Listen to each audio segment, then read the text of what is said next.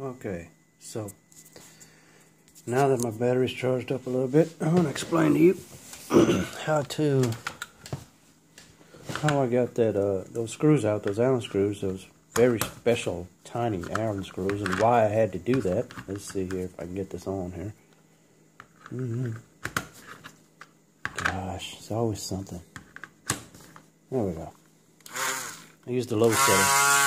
I only have a high, off, and low, so it's not going to be simple. Alright, so these screws they made, I don't know if you can see it, it's so tiny. Let's see here. Wow. Can't even focus on that thing. Anyways, it's an Allen screw, and my tiniest is 1.5 millimeter. I guess it says 1.5 on it, and uh, it's not small enough to get it get in there either. See, it just doesn't work. It doesn't go in. It's a very fine Allen head. So, anyways, what we're going to do to alleviate that, bring this at a certain height, so you, an angle, and turn this hex screw into a flathead screw so you can unscrew it. Okay?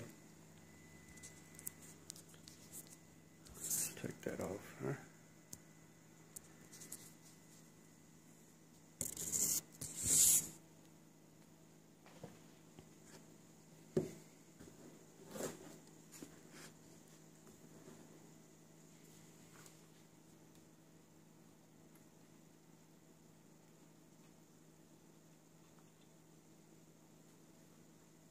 Find a good angle so you don't scar up your scope face, but you know, sometimes that can't be helped. I got scratched one of the other ones anyways. see, I can't see it have to get this light perfect so I can see, get the center of the screw gouged out into a flathead.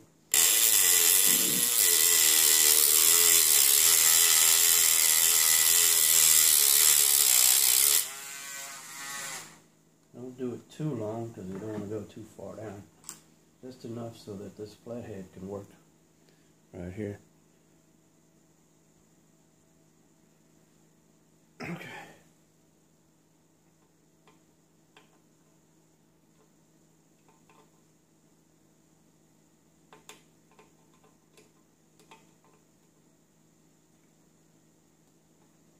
There we go.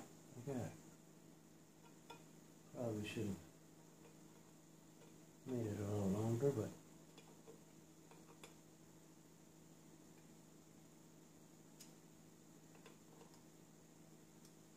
yeah, I'm going to have to get the other side of it.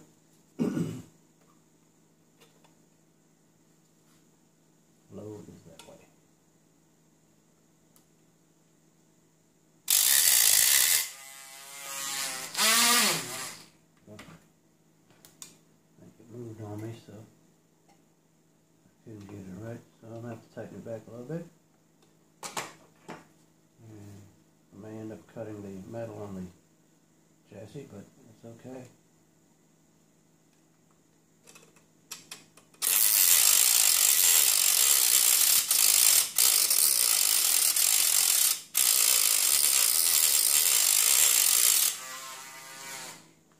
I might have done it. Yeah, close enough. Hard to get these done when there's a big chunk of metal in the way. Be sure to put these screws close. Close to the edge. Alright, finally in the panel. Jeez, look at that. It's ridiculous, isn't it? Wow, I wish companies would just make flatheads and Phillips. You know, or larger, you know. These would be nice too. You can use these, just, you know, not something that tiny. And good grief. Not even the tiniest one I had would work. it just wouldn't go in there. No, that wouldn't go in there. Okay. Here's the inside. the juicy gear and the board. And I have to figure out. Ooh, that's a lot of grease. wow. Look at that. Crazy. Wipe that off my finger. Alright.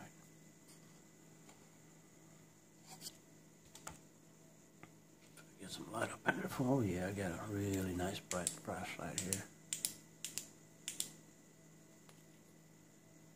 reason this thing is not really focusing that well for you guys. I don't know why. Huh.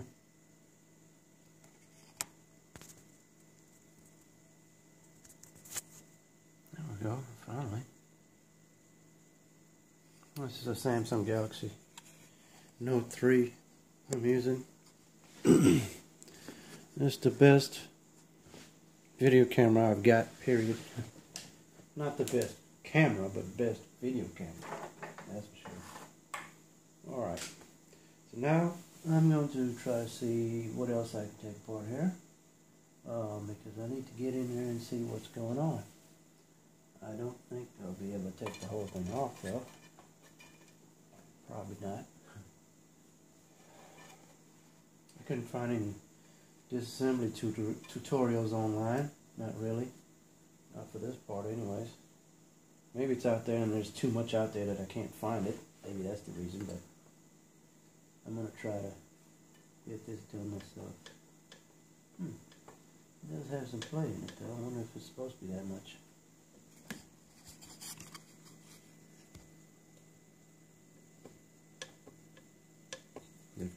Mark on it.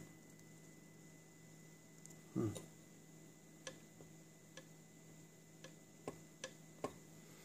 I don't think that's the problem though. I'm having runaway issues. Let's start the scope up and it just starts moving on its own. Sometimes you can't even stop it. You have to switch it off. It's ridiculous. When I first got it, it was working okay.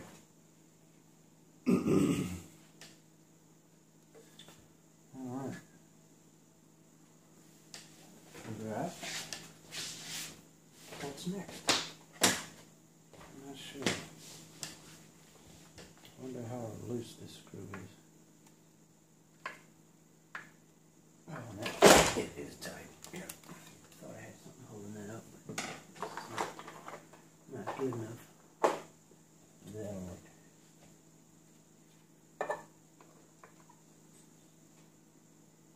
Wow.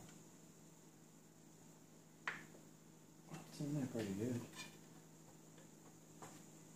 I don't know it's supposed to be tight anyway.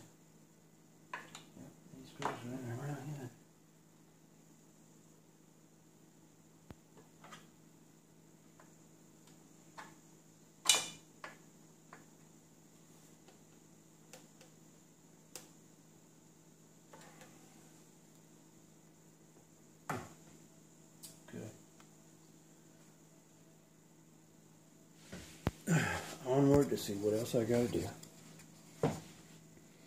Be back with the next video.